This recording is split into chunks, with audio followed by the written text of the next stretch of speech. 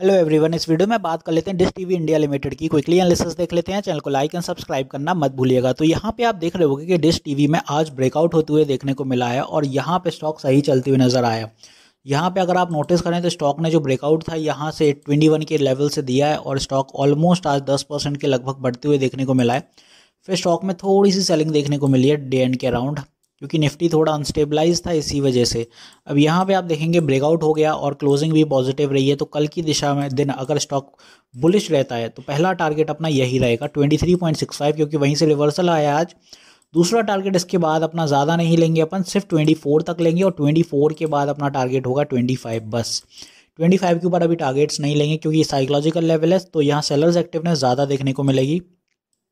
और ये पूरा रेड जोन रहने वाला है। सेलर्स एक्टिवनेस के साथ साथ यहाँ फॉल भी बन सकता है साइडवेज हो सकता है या फिर पुल बैक रहेगा। तो ये दो से तीन चीज़ें होंगी। अब ये पुल बैक की बात मैं इसलिए बोल रहा हूँ क्योंकि स्टॉक ने ऑलरेडी रिटर्न दे दिए यहाँ पर अगर यहाँ से आप तीन दिन के इसके सेशन कैप्चर कर लें तो तीन दिन के सेशन में स्टॉक ने रिटर्न्स निकाल दिए ट्वेंटी फाइव परसेंट तो एक छोटा सा पुल बैक आ सकता है और साथ ही साथ उसमें फ्रेश एंट्रीज होंगी, तब आगे बढ़ेगा स्टॉक और दूसरी बात मैं गिरावट की बात इसलिए कर रहा हूँ क्योंकि निफ्टी आज अंडर प्रेशर बहुत ज़्यादा था माइनस दो सौ पॉइंट रहा है। और कहीं ना कहीं मार्केट में न्यूज़ भी है कि निफ्टी अगर फर्दर फॉल दिखा सकता है, क्योंकि थाउज़ेंड पॉइंट्स का करेक्शन अगर हैगा नियर बाय तो फिर अगर ये डिस टी उसके अगर थाउज़ेंड पॉइंट्स निफ्टी कहीं ना कहीं करेक्ट होगा तो डिस टी भी ऑब्वियसली थोड़ा नीचे आ सकता है। तो इसलिए मैं बोल रहा हूँ कि अभी ट्वेंटी फाइव ही अपन टारगेट लेके चल रहे हैं। अब ये ट्वेंटी फाइव तक पहुँच जाएगा सस्टेन कर लेगा, तब की तब से लगी। अदरवाइज़ यहाँ से रिवर्सल या साइडवेज कुछ भी होता है तो उसके लिए सतर्क रहिए और ट्रेलिंग स्टॉप लॉस ज़रूर यूज़ करिएगा। बात कर लें कि स्टॉक के सपोर्ट्स कहाँ रहने वाले हैं। तो बाय टमोरो अगर any unstability is there in this TV तो आप देखेंगे पहला सपोर्ट जो अपना बनेगा, यहाँ से बनेगा वो ट्वेंटी थ्री के around twenty three sorry twenty three तो आज का प्राइस ही है। ट्वेंटी थ्री अगर ब्रेक होता है तो ट्वेंटी थ्री के बाद अपना जो पहला support twenty two point five zero रहेगा। और इसके बाद जो नेक्स्ट सपोर्ट रहेगा, वो रहेगा ट्रेंड लाइन के ऊपर ट्वेंटी टू के आसपास ये वाला। और तीसरा सपोर्ट होगा अपना ट्रेंड लाइन के अंदर।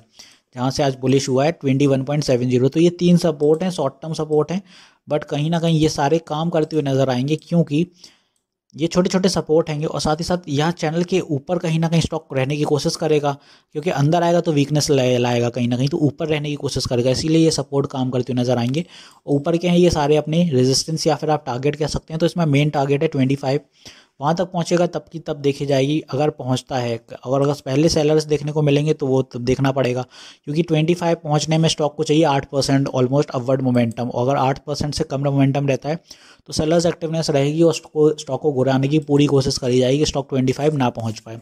तो ऐसे चल रहा है आपका डिस टी वी इंडिया बाकी स्टॉक देखें फाइनेंशियल्स ठीक ही हैं, ज़्यादा अच्छे नहीं कहेंगे बट उस हिसाब से स्टॉक साइडवेज होता है और अपवर्ड मोमेंटम लेता है। ये बस इतना ही है।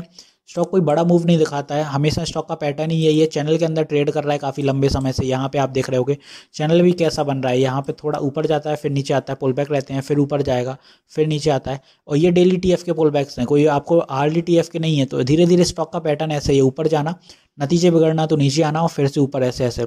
और चैनल के अंदर है, बस यही सही बात है कि स्टॉक चैनल के अंदर है। तो यहाँ से अगर फॉल भी दिखाता है आने वाले दिनों में, कुछ भी अनइवननेस रहती है मार्केट अनस्टेबलाइज होता है अगर तो फिर आप देखें, यहाँ से फिर पुल बैक आ सकता है और रिवर्सल के साथ साथ धीरे धीरे करके स्टॉक आपको यहाँ कहीं मिलेगा फिफ्टीन रुपीज़ के आसपास, तब एक्यूमुलेट करिएगा। तो होपफुली अब सारी चीज़ें क्लियर होंगी डिस टीवी में। तो वीडियो यहीं तक रखते हैं, मिलते हैं नेक्स्ट वीडियो में। This is me Shubham Yadav signing off